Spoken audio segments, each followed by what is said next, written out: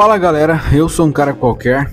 Quando eu falo aqui sobre é, pessoas famosas que acabam se retirando aí do debate político cultural, que prefere se reservar simplesmente a fazer o trabalho e ter a sua vida, a sua opinião pessoal mais reservada, e muita gente que reclama, né? Tem muita gente que acha que é, é fácil entrar nessa guerra. E a gente sabe que quanto maior você for, mais você vai apanhar, né? Mais vão tentar te cancelar. Vão te ameaçar, ameaçar parentes próximos, ameaçar sua família, ameaçar amigos, simplesmente porque você discorda das opiniões das pessoas. E nesse vídeo eu vou mostrar exatamente isso. Aconteceu aí com o dublador do Ken Ken Masters de Street Fighter. Simplesmente ele foi retirado do papel que ele tinha há muitos e muitos anos por causa de opiniões pessoais que foram, aliás, retiradas de contexto. Como sempre, eles retiram é, as frases, né, as opiniões de contexto e fazem você parecer um monstro. A matéria fala o seguinte: o dublador de Ken Masters Ruben Langdon diz que foi reformulado por causa de política. Antes de continuar, não se esqueça de já se inscreve no canal, deixa um like e compartilha se você puder. Se você quiser ajudar o canal ainda mais, você pode fazer um live pix ou virar um padrinho. Ambos estão aqui no comentário fixado caso você queira ajudar.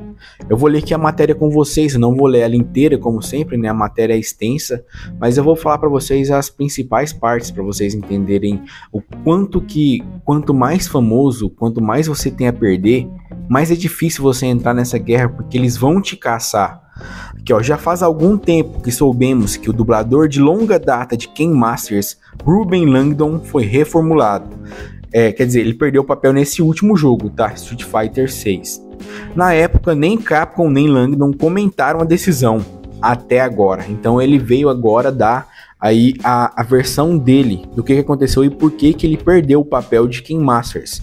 Que, ó, para recapitular, Há três anos, artigos da Newsweek e outros comentários sobre as crenças pessoais de Langdon foram tiradas de contexto, o que Langdon agora confirmou que o levou a ser descartado como a voz de Ken Masters. Quem imaginaria, né? Que se você não tem opinião igual às pessoas que estão no poder, você vai se ferrar, você vai ser caçado, você vai perder o seu emprego. Aqui ó, Ruben apareceu anteriormente em um podcast com youtubers Hero Rei e Yellow Flash. Eu já falei várias vezes aqui que eu sigo esses youtubers eles foram é, tipo fonte de inspiração para mim criar meu canal, o Yellow Flash.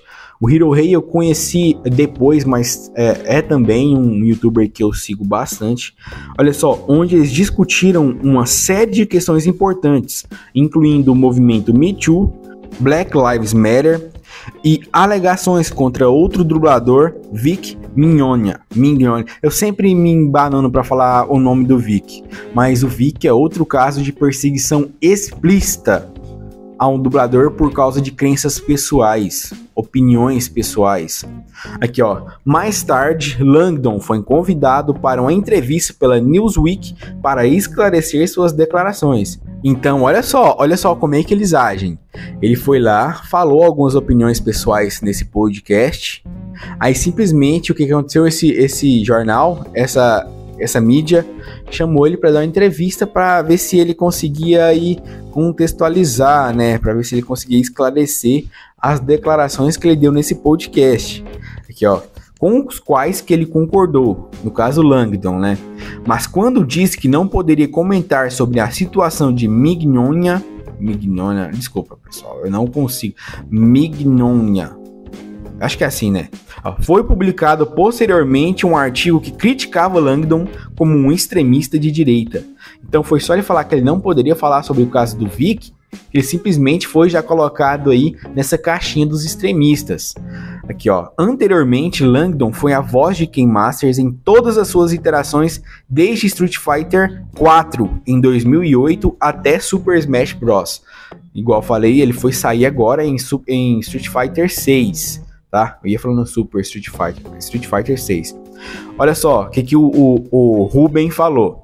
Este artigo da Newsweek saiu e basicamente tirou coisas que eu tinha dito na entrevista fora do contexto, ou sem contexto, e apenas disse: Ruben disse isso e aquilo sobre Black Lives Matter e Me Too, que estou certo extremista. Na verdade, esse negócio de asa não, é wing, é, é extremist wing, né? Tipo assim, ele está na ala dos extremistas, que sou um crente em alienígenas e ovnis, um maluco. Porque o Ruben ele acredita aí em ovni, em vida extraterrestre, mas a, o artigo saiu arrebentando com o Ruben.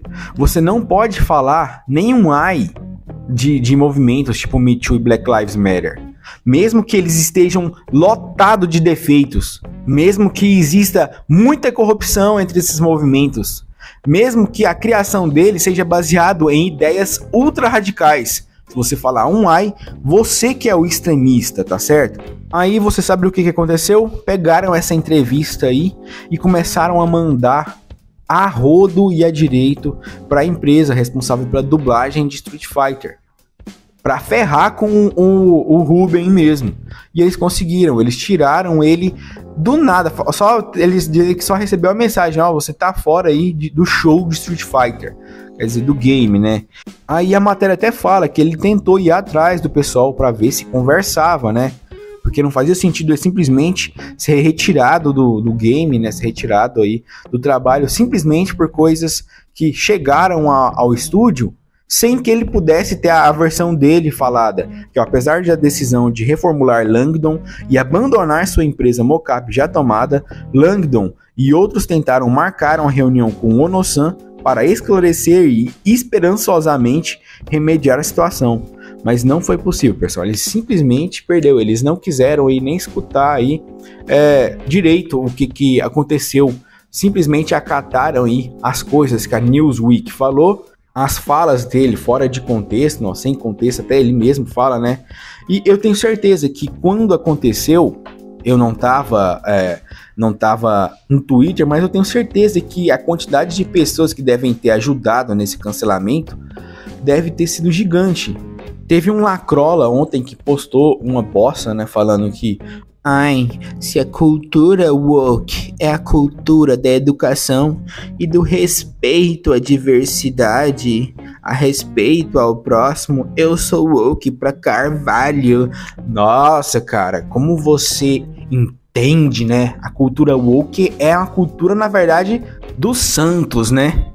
Só pode. Eu simplesmente respondi o seguinte: faltou falar da parte de imposição, da hipocrisia e da real intolerância. A cultura woke é um lixo completo, pois ela prega respeito sem respeitar e prega educação desinformando. Foi o que eu falei lá no Twitter. E o que eu vou seguir falando aqui para sempre e sempre enquanto a gente estiver nessa batalha aí. Mas e você? Você sabia que o dublador do King Master mudou justamente por causa das opiniões pessoais dele? Não? Deixa aqui nos comentários a sua opinião. Não se esquece de se inscrever e deixar o like. Se você chegou até aqui, deixa uma pipoquinha aqui nos comentários que seja para ajudar a engajar no vídeo, tá? A gente se vê na próxima. Falou, valeu e até.